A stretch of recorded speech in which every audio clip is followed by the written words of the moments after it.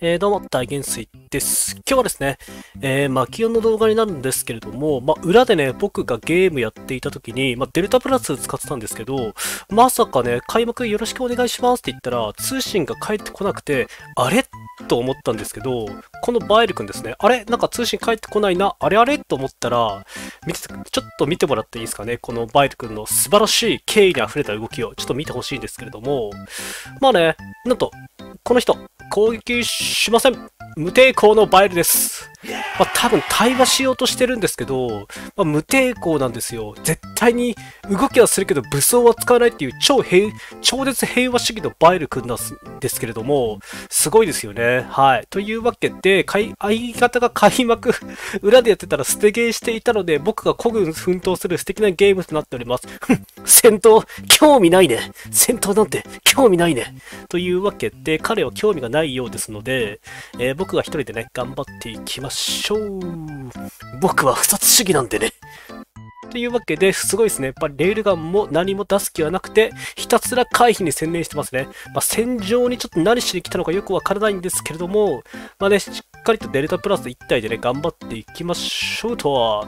で、エクリプスとアトラス君がなんか結構な勢いで詰めてきているのがちょっと気になりますが、まあまあ頑張って弾を避けてね、行きましょうかね。で、ここで被弾してしまいますが、バエル君は不殺主義なんでね、まあ、まあ、鬼滅の刃でね、桜井君が、まあ、鬼滅の刃の、まあね、水柱で、鬼殺隊ってやつに入ってるんですけど、あれはマクギリス君は不殺隊ですね。不殺隊。はい。鬼？興味ないね。鬼を殺すことに興味はないね。というわけで、不殺、相方が不殺隊なんで、僕は必死に前に出ていきましょう。まあ、僕はね、不殺隊じゃないんでね。で、アトラ君が突っ込んできて、体力がピンチだが、バエル君は散歩しているサイドセブンを散歩していくうわ。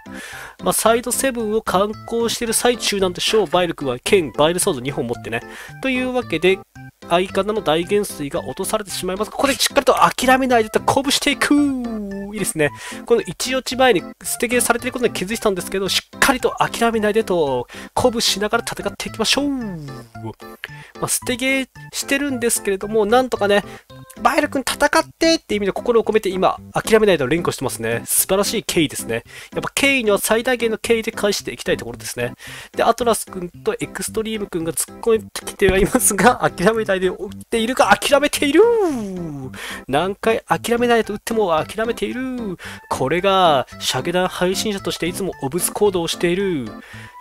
ま、これは、配信、配信、お仏、お仏、シャゲダン、シャゲダン、シャゲダンというわけで少し壊れてしまいましたが、まあ、普段ね、シャゲダン配信している、えー、代償といったところでしょう。少し壊れてしまいましたが、申し訳ないですね。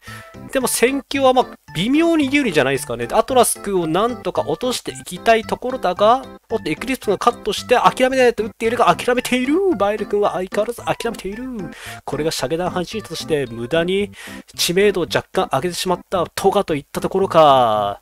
ヘイトを買っていることに間違いはないですね。素晴らしいと思います。で、諦めないで連呼しているが、諦めている頑張っても諦めてるしかし大元帥はね、もうマキオンプレイヤーの鏡として最後まで戦っていきます。はい。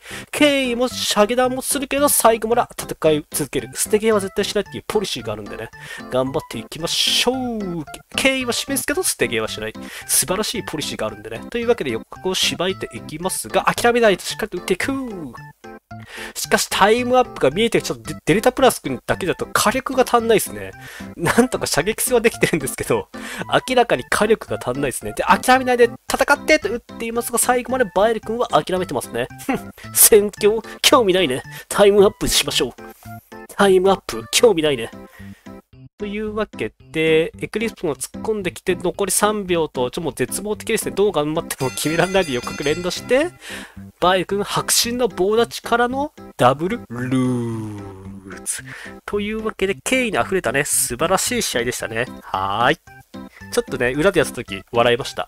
というわけで、次の試合なんですけれども、まあね、これも裏でやってたゲームなんですけれども、まあ、僕がデルタブラス使っていた時に、まあね、このね、ニューガンダムくん、相手のニューガンダムくんがいるんですけれども、まあね、ID 見たら、いちごパンティっていう ID でちょっと爆笑しちゃったんですけど、いちごパンティースっていうね、いちごパンティっていう素晴らしい敬意に溢れた敬意 ID なんですけれども、そのね、パンティくん、まあ、一パンくんって呼びますかね、いちごパンティなんで一パンくんって言いましょう。まあ、一パンくんがね、何やら、まあ、不可解な行動をしていたので、今回はね、おまけとして動画にしていきましょう。で、一パンくんが突っ込んできて、パンティおっと、今、パンティ被ってましたね。今、三角形のパンティ被っていたのが気になりますが、まあまあいいでしょう。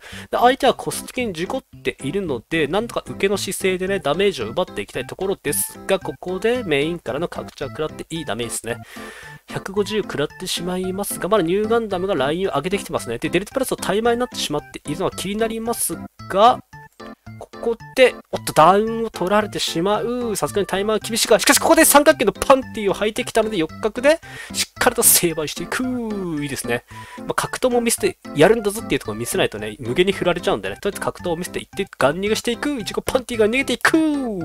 パンティ被られたらちょっと終わりなんでね、このゲーム。デルトプラス君超厳しいんで、とりあえずパンティまた貯める前に逃げていきましょう。で、相手のストフリ君が落ちて、クルセイバー君が覚醒して覚醒技を当てているので、ストフリ君を見ていきましょうかね。で、ストフリ君が覚醒してきたので、ここはまずいと盾をして、相方君が救援してくれた強すぎる。あれ、パンティ君、パンティ君どうしたの？いちご、いちご、1パンパンティ君？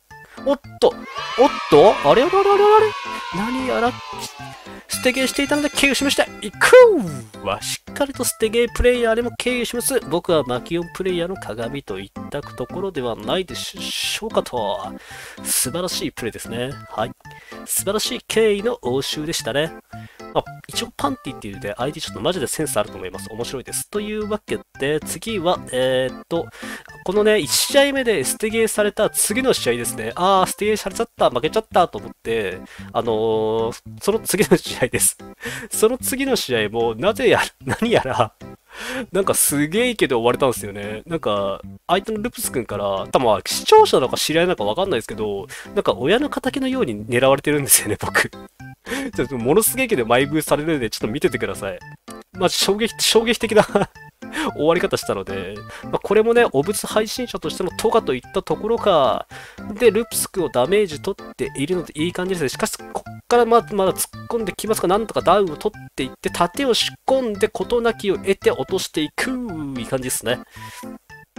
で、ただ、ルプス君の覚醒が怖いが、さてどうする？とすと、すげえ距離横角を振ってまずいですね。プレスがやばいが、立て仕込んで横角でダウンを奪って、しっかりと射撃発生でダウンを奪ってますね。素晴らしいプレイヤーと思います。はい。で、バルバツルプス君がなんかすごいっすね。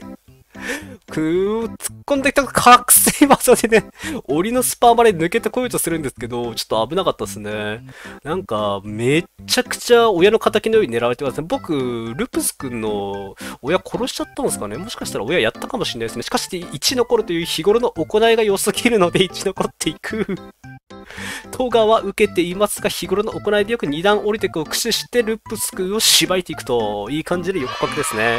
で、きっちりと敬意を示していきますが、まあね、そんな追わないでの意味で射下弾をしたら、おっと、珍しいですね。射下弾をしたら追っ払ったっていう軽なパターンですね。で、ここで僕のことを追わないでの射下弾をして、許しをこいますが、ダメですね。許す、許されないですね。